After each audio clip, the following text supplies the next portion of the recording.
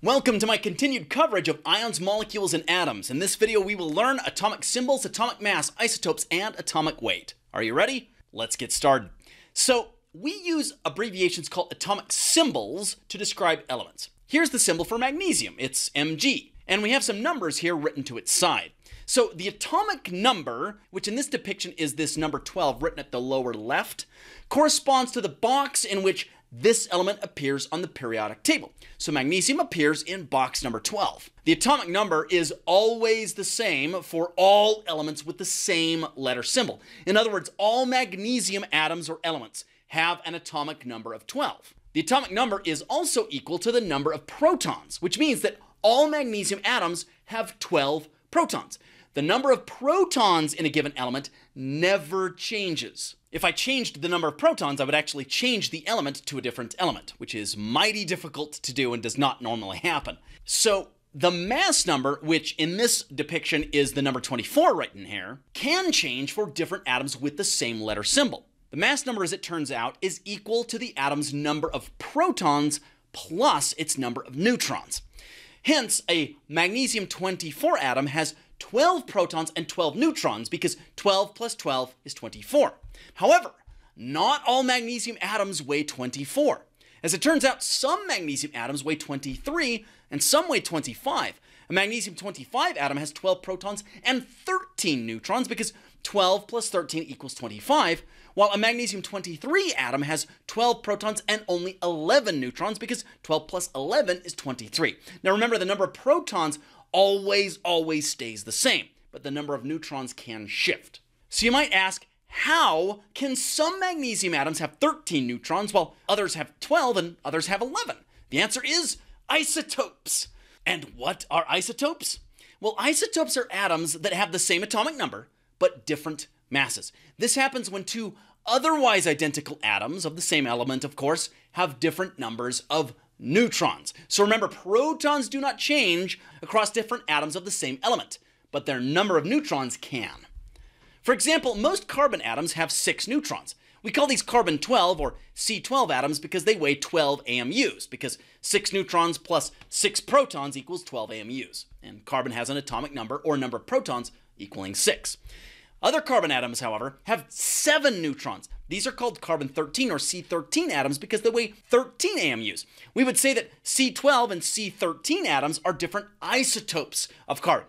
Same number of protons, different numbers of neutrons. Now, all of these, of course, have the same atomic number, which is 6, and the same number of protons, which is also 6. If we somehow changed the number of protons in a carbon atom to be 7, then it would no longer be carbon it would now become nitrogen. You see, then we cannot change the number of protons in an atom without changing its identity to be that of a different element. Now to atomic mass versus atomic weight. So carbon atoms that have just six protons and six neutrons, of course, have an atomic mass of 12, which is 6 plus 6. Now most carbon atoms are of this type. Some carbon atoms, as I just mentioned, of course, have six protons and seven neutrons, which means they weigh 13. These atoms are called carbon 13 atoms. An even fewer number of carbon atoms have six protons and eight neutrons. These are called carbon 14 atoms.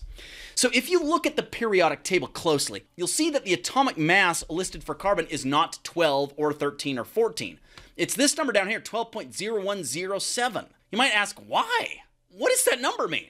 Well, as it turns out that this number, 12.0107, is a weighted average that takes into account the relative amounts or percentages and weights of how many carbon 12s, carbon 13s, and carbon 14s there are in the world and universe, all squished into one number. This overall weighted average is called the element's atomic weight. We would say then that a carbon 12's atomic mass is exactly 12. A carbon 13's atomic mass is exactly 13 but carbon as an element has an atomic weight of this number, 12.0107, which again is a number that is a weighted average that takes into account all of these different isotope masses along with their percentages. So how do we calculate these weighted average or atomic weights? Well, if we're given the natural abundance percent of different isotopes of an element, as well as each isotope's individual atomic mass, we can calculate the element's overall atomic weight. I'll show you how to do this with the following problem.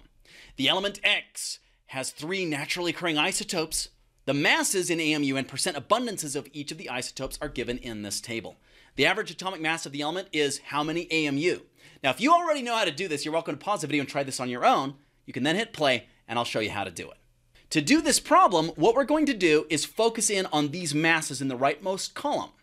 We take each mass and multiply it by its percent abundance, and then add them all together. For example, the first mass up here is 220.9. We take 220.9 and we multiply it by its percent mass, 74.22. However, we have to express that in a decimal percentage. So we actually have to take 74.22 and divide it by 100. So we take 220.9 and multiply it by 0.7422. See, this is a decimal percentage. It's the percent divided by 100. So this takes into account the fact that 74.22% of all of the atoms of element X weigh 220.9. Make sense? Now we aren't done. Again, in order to calculate the overall atomic weight, which is a weighted average of all of these different percentages and masses, we have to continue down the line. So we now take the next isotope mass, which is 220.0, we add it to what we have so far and multiply that 220.0 by 12.78 divided by 100, like that. See that? Then we do the same thing with our final mass here. 218.1 multiplied by the number 13.00 divided by 100. If we add all of that stuff together in our calculator, it gives us this number. That is the averaged mass that takes into account each of these individual isotopic masses and their individual percentages of abundance in nature. Now, in order to get the correct answer, we have to use our significant figure rules, which we learned in an earlier video that I'll link to in the description below, and do our appropriate rounding. You'll notice that each of these individual mathematical manipulations are multiplications.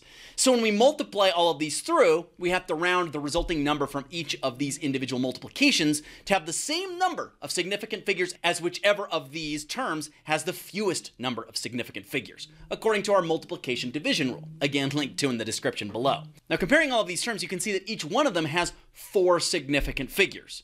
So if you rounded each of the individual products here correctly, you would get four significant figures in each of these terms. You'll notice that each of them is separated now by a plus sign. So we have to use the addition subtraction significant figure rules, which says that we have to round our final number to have the same number of decimals as whichever term had the fewest number of decimals. Now, as you scan across all of this, which of these terms would have the fewest number of decimals? Yeah, it's all of these terms that are the individual masses, and they only have one decimal. That tells us that our final answer must be rounded to have only one decimal. Which of these numbers down here is the correct answer with only one decimal? The answer, of course, is option B. So this is how you calculate an atomic weight from individual atomic masses and percent abundances.